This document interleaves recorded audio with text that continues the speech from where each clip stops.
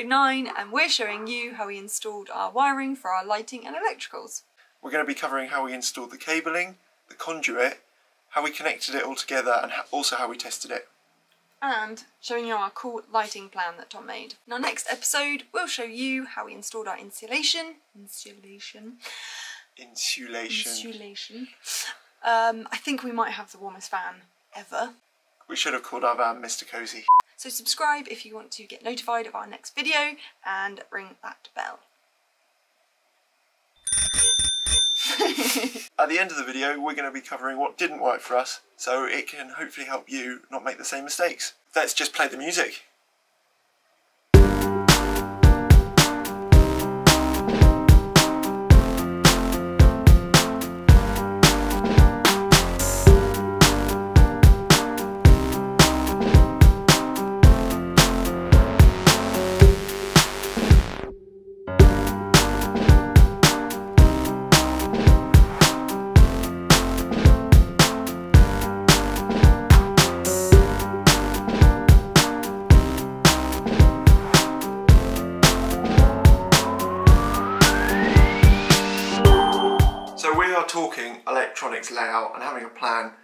Your bits are going to go.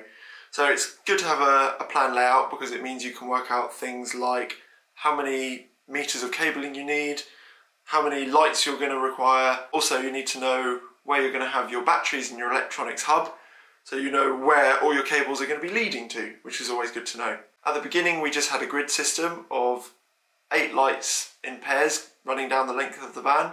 But after speaking to an interior designer, she advised us to put the lights where we needed them. Which sounds sounds obvious. So in our van, we've got our bed, our chairs, our table, kitchen unit, upper cabinets, and roof vents to work around. Just a few elements. We're concentrating on lighting because the cables for our lights are going to be running through the walls, so we have to do that before we put the walls on. We've chosen it according to the layout of our van. So if you're going to be using your van for working, for example, you want a lot of light around your kind of seating and working area, which may not work with a grid system. So that's what we've done. So we've chosen to have eight of these downlights. They're called puck lights and they're really nice and they sit really nicely and flush into the ceiling.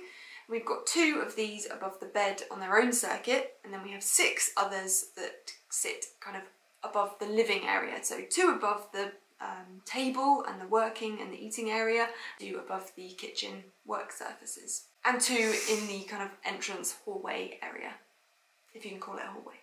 yeah, yeah. We're calling it a bedroom, so why not? And the kitchen and the dining. We've also got four of these tiny little cute reading lights, two above our bed that are going in the middle, directed to each person. We've got two of these, one above each seat.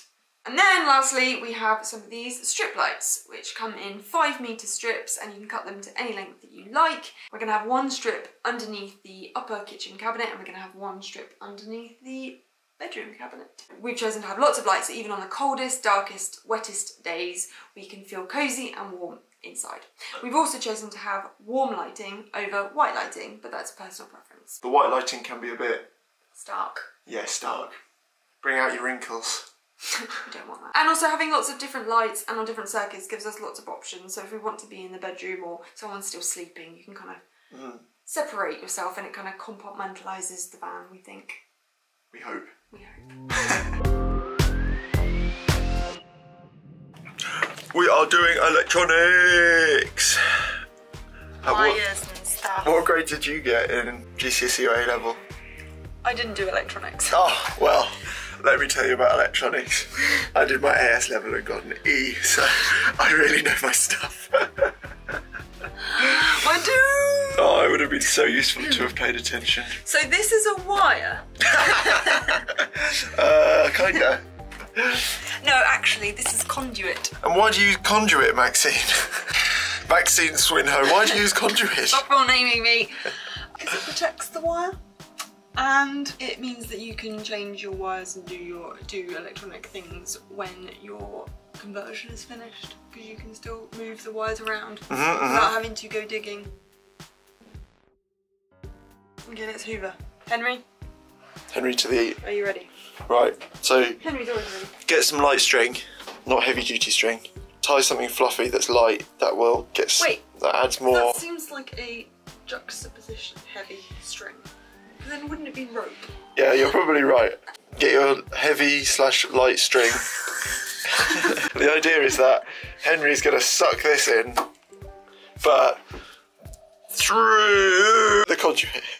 Let's go. Okay, so get your fluffy bit because it gets sucked. Pop, oh, pop it in. Where's Max, Hoover. Where's the end? And then we watch the string up there. Okay, Let go, Max. It's already there. What? It's already there. You don't have to do that. Ah, a magic trick. Do the magic sound. Ta-da! Right over left, left over right. Do it twice, and it seems to hold okay.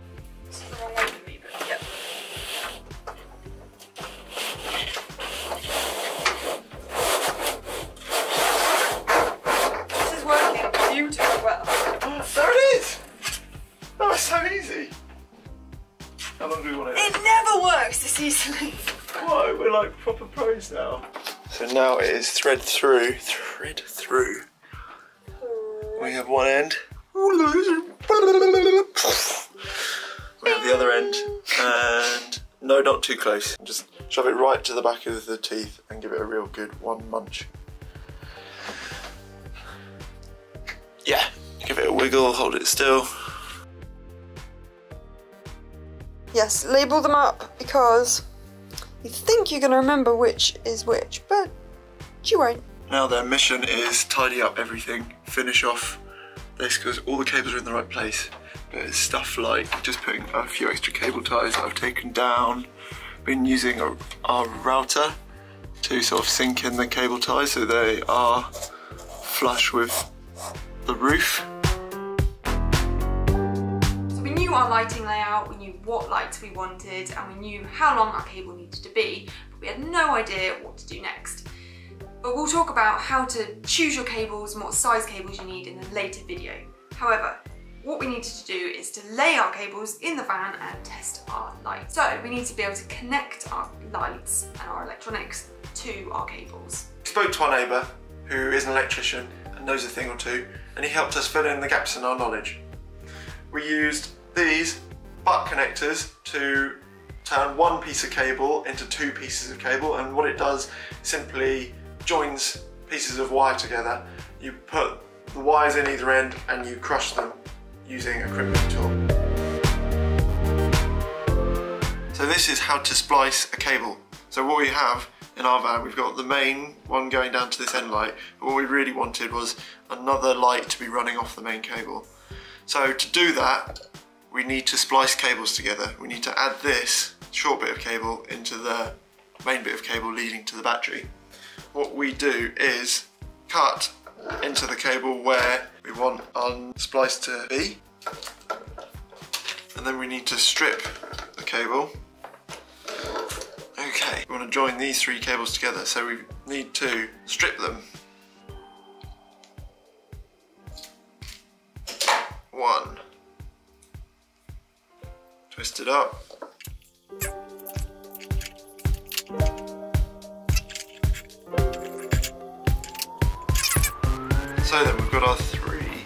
Exposed pieces of cable. We want to make them all join together. So what we've done is using a butt connector, I was twisting these two up together. and then pop them in one end of this. Crimp that end up.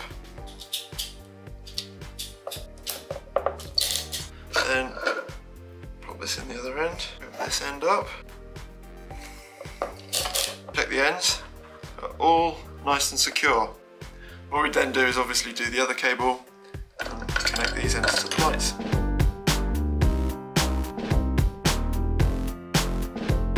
The other thing that we used were bullet connectors. It looks a bit like a bullet and it simply has a male and a female and the male slots into the female. And we use these on the end of our lights. So you've got the female there and inside the van we've got the male on the end of the cable. So the first thing that we do is strip the cable. we've got some cable strippers here. They work really well. Pull that bit off, expose cable, then we twist it all together so it's held together nice and tight. We then pop our bullet connector on there, get our crimping tool, get it in the right bit, and then you just crush it into place. You then test, see if it's nice and secure, that feels really good, and that's it done.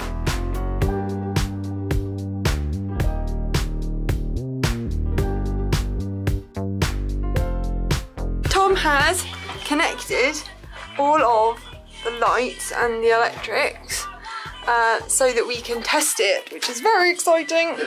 So we're going to, we've got our lithium ion battery from Renogy here.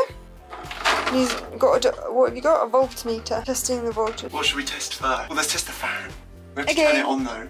Oh look, there's light, there's light. There was light, yeah. Where? I saw light. Dude! The fan, Spin. the fan just turned on, the fan just turned on. Oh! can you feel air moving? Oh, I can see Yeah, look, it's sucking up. Whoop. Dude. It worked though, it oh. worked. Okay. Are you ready for this? There's loads of light. They look cool though. Okay. Turn on that light. Oh no. Oh no. Switch on. Yay! Oh, Whoa, cool. Hey, that's well bright. That's awesome. That is awesome. So, our little reading light and our, little, on our chair, our working light. Dude, that's sweet. Look how cute it is, it's so little. Right, disconnecting. Goodbye. But they're all working, so that is the bestest thing ever. And so's the fan. Oh, that was exciting. Thank you for watching. If you liked it, give us a like. Something that we could have done with knowing before we started was that feeding cable through conduit isn't as easy as it might seem. The first trick is to use Henry and a piece of string to pull it back through, but we tried that with a longer piece with lots of bends in and it was very tricky. We ended up taking the conduit out the van and then feeding it through separately so that the conduit had no bends in and that was easier but still was a struggle. This is why.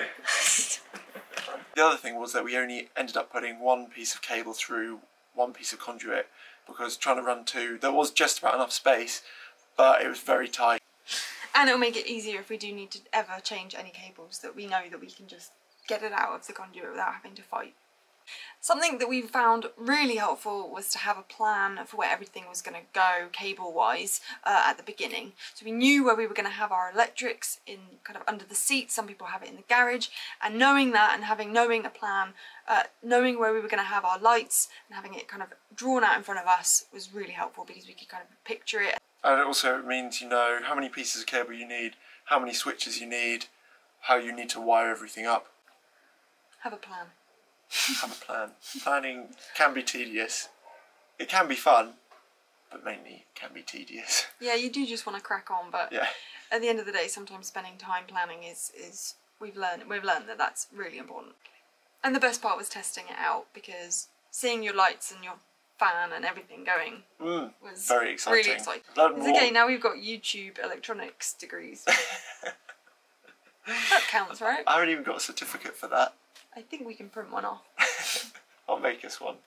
if anybody else wants a YouTube electronic certificate, And you watched Let a us lot. know. You watched a lot of Greg Virgoe's videos.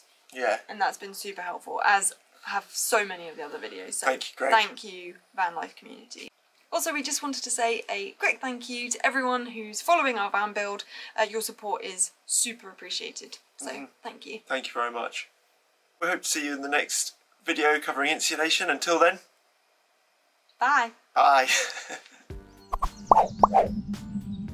and then it'll be a fun game of you'll switch on your Maxine, can you hear me? Ow, it's sharp. Oh, oh someone's talking to me. They said follow the rainbow. I can't through this. Can you hear me? Hello, can you hear me through the tube? Put it up to your ear. Top tip. Never put your ear to the tube when your husband says to, because he's going to yell in your ear. No, I'm not falling for it again. I've got a secret. Listen to the secret. I won't, I won't promise which scream.